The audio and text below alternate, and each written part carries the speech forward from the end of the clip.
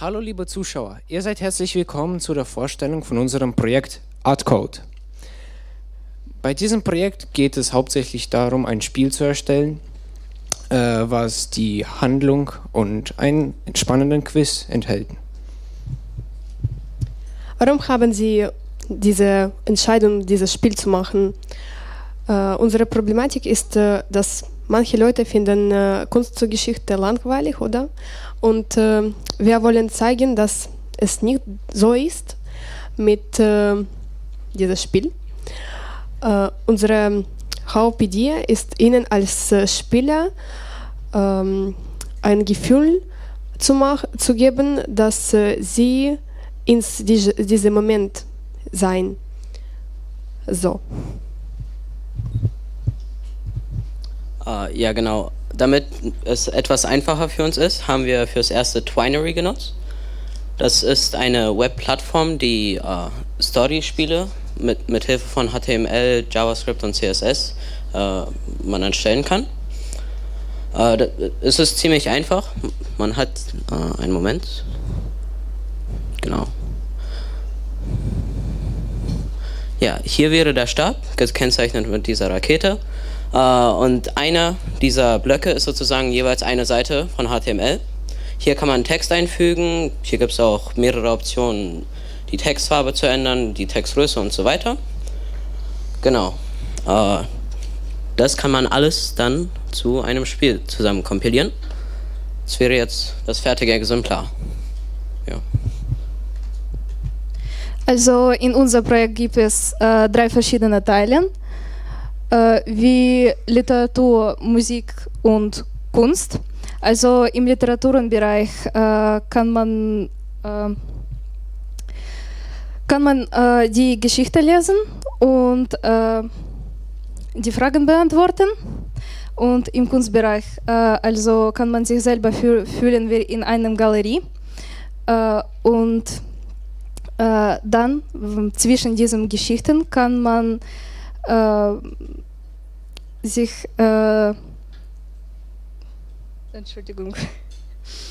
Also dann äh, zwischen äh, diesen Geschichten äh, können Sie Ihre Gefühle verlassen und die Fragen beantworten, die ihr viele Informationen gibt.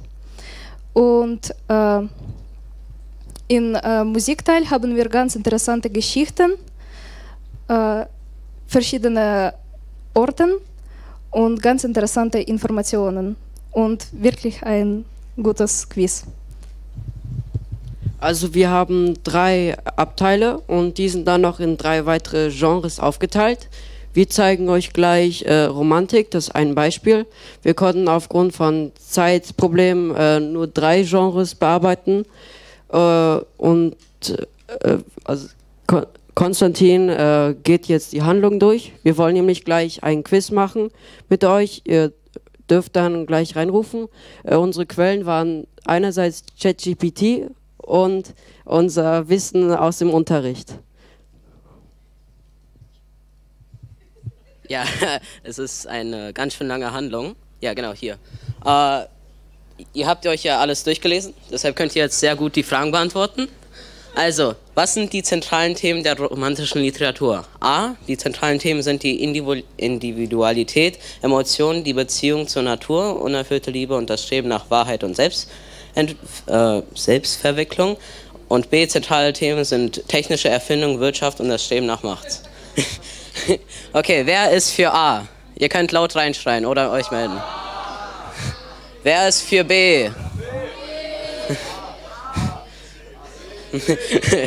okay. äh, ich will erstmal A. A wäre die richtige Antwort. ähm, okay, dann lass uns weitermachen. Die zweite Frage wäre, welche Rolle spielt das Individuum in der romantischen Literatur im Vergleich zur Gesellschaft? A. Gesellschaftliche Normen spielen keine Rolle und b. Gesellschaftliche, gesellschaftliche Normen bestimmen, auf welche Art von Beziehungen akzeptiert werden und können Charaktere in ihren Entscheidungen und Konflikten einschränken oder leiten. Wer ist für A? okay, ich glaube, das ist eine eindeutige Antwort und das ist richtig.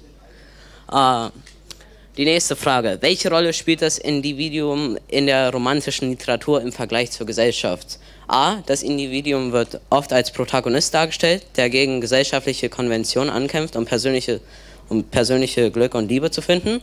Und B. Das Individuum hat keine Bedeutung. Wer ist für A? Wer ist für B? Ja. ähm, okay. B ist falsch.